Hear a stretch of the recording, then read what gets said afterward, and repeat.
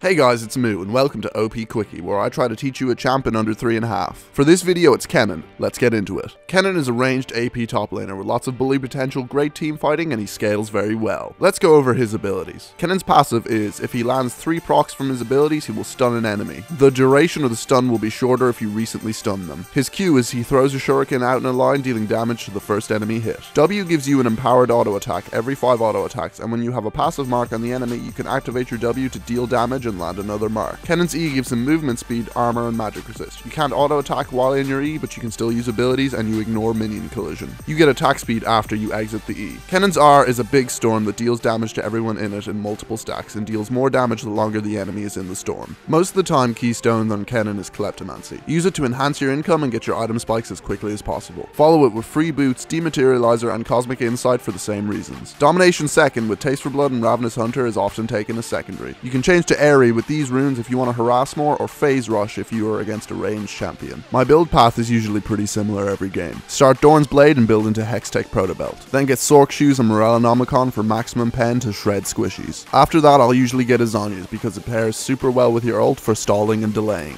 Spellbinder, Deathcap, Liandry's Banshees and Void Staff are all super common and will depend on which suits your game. You'll pretty much always want to build full AP on Kennen. Kennen isn't great with defensive items, so look to stack that damage. There isn't really a consensus amongst pros for which ability should be maxed first, second, or third, so it would often be matchup or preference dependent. I usually max W for damage, followed by E for utility, and Q last. No matter which order you max it in, it should work. Just make sure to play around the strengths of your abilities. Level 1 you want to level E or Q and then level up whichever abilities you need next. Similarly, there is not much of a consensus here either. You'll want to play lane fairly aggressively. Look to contest CS and get a lead on your opponent. Jumping in and out of the brush top lane allows you to drop creep aggro when harassing your opponent. It can be difficult to kill your opponent if they are tanky unless they make a very big mistake, so coming out of lane with a CS and plate advantage is not a bad thing. Matchups with squishy champions can be quite volatile, but you can use your E to take less damage damage and escape. These are the sorts of lanes that you can prioritize kills in. Kennen's 2v2 is also great, especially post level 6 because of your AoE damage. You can pretty much blind pick Kennen as he does best into tanks and bruisers, which is most of what top lane consists of. His hardest matchups will be ranged matchups or assassins that can easily all in you and stick to you, such as Jace or Rengar.